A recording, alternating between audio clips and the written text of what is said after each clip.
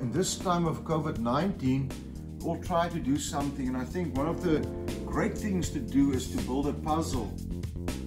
As a handyman from Rion's Design and Floor-Based Solutions, we've got a product called Elastilon. So this is an underlay that you put on solid flooring.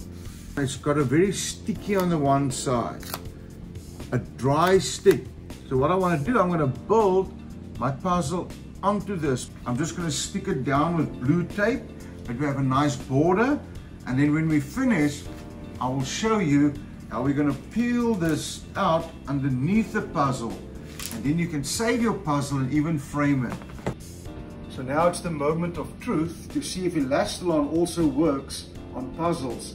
So Steven, let's see if it works. So I've got Steven from Elastilon to come and help me with this. yeah, well, I'm Steven Suntup. I represent Elastilon in America. And Rion's told me about this project, so I came over to uh, see the final thing. Yeah. And we can have a look at what other projects we can do with Elastilon. Yes, so let's see. Let's see. Okay. Right. So, So you're going going to hold it over here. Yeah, like what we do on wooden Okay. floors. Right, Rion, you can pull it all the way now. Okay. Looking good, looking good. Keep going. Wow. Keep going. Looks good.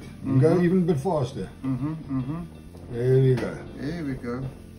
Steven, why does it look so, why is it so hard? Is it, what, Eh? why does it feel, is it pushed down there? Have a look. Is there something over there, Rion? Why is it so high? I don't know. Is that what's there? hey, can you believe it?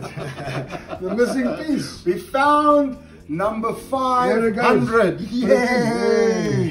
Can you believe it? There you There go. the puzzle is complete. Well, here you got it. Happy puzzling. But of course, gotta have your wine. Cheers on puzzling.